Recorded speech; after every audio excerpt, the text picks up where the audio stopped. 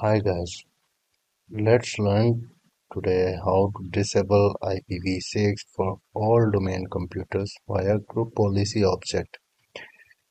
First, you need to download IPv6 ADMX and ADML file. You can simply download those files from any link. I'll give you more than one link in video descriptions. So let's download the file. I have the link. Let me paste the link into the browser. Okay.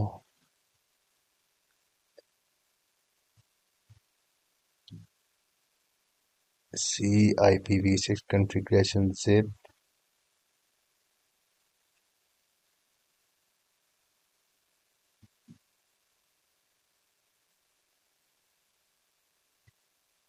scroll down. And let's download this file. We have to copy this file to the specific path right? So that group policy will pick IPv6 settings. So the zip file contains both ADMX and ADML file and here is the path right ADMX file needs to be copied here and ADML file needs to be copied here and replace ENUS with your country language. Let me show you. Let me show you. First, that extract here. Okay. Okay, let's copy ADMX file mm -hmm. and go to the location where we have to paste this file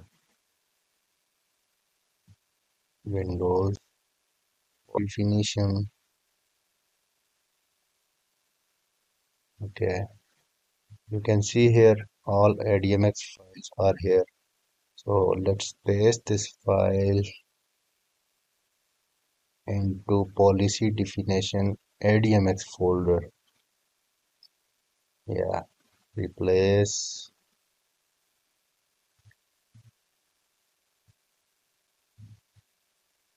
Mm -hmm. Let's copy ADML file and paste it to the required location.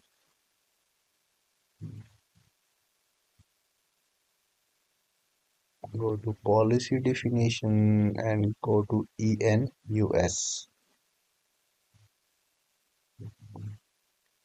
and paste it here.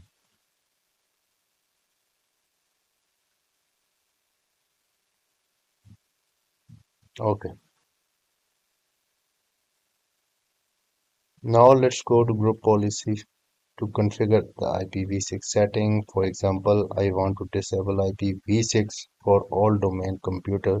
So I will create a new group policy. Let me create. Okay. Let's name the group policy. Mm -hmm.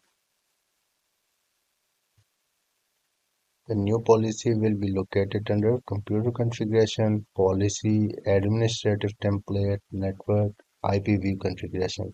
Let's go there. Add it.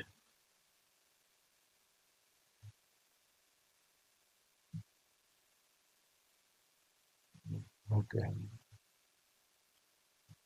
Under Computer Configuration, Policies, Administrative Templates, Network, find IPv6 configuration. Here it is. Okay. Here you can configure the following settings.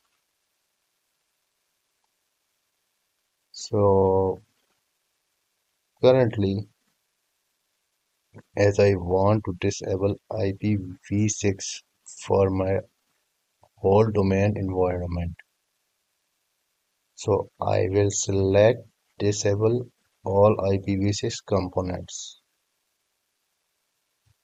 Hit apply. OK.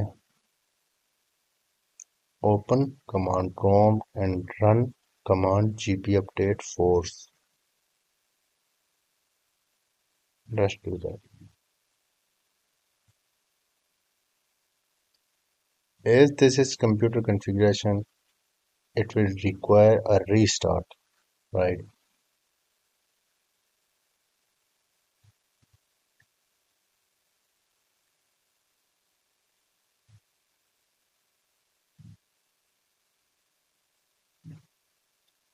Now on your any domain computer run ipconfig all before restarting you will see IPv6 there.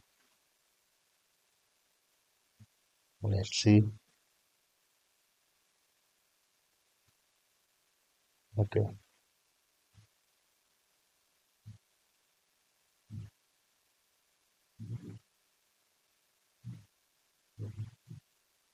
See, we have IPv6 still enabled. Now restart your domain computer and run ipconfig all. So I will restart and I will show you now after restarting.